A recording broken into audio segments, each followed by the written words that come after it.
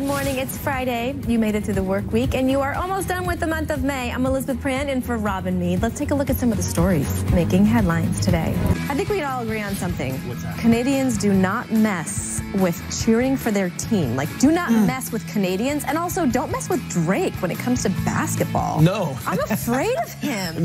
And you should be. I- and the Warriors should be. No, Toronto is going buck wild right now. First time ever that the NBA Finals being held north of the border. That's some good stuff. Yeah. But there's just no catching him. Once he hits those daily doubles early on, there's no catching. You can see a strategy when he starts to oh, get- he has a whole strategy, honey. That's, yes. that's also why it's called so the forest jump. You know, I watch every night. So. I know. if I ever have any questions about Jay, I just know I just know where to go, right? Right here. His wife's name is Melissa. Also, there's that. No, yeah, no, it's not. How do. I know that? I'm into it, Melissa. Thank you.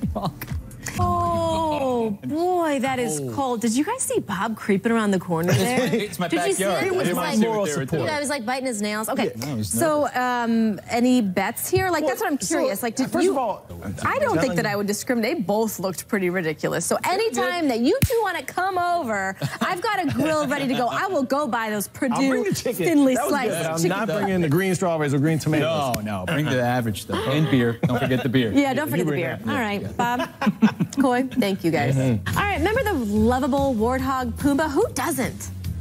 People can pay for their commute while they're on their phone. A new technology just made paying for your subway ride a little bit easier. Maribel is in for Jen this morning. Hey, Maribel.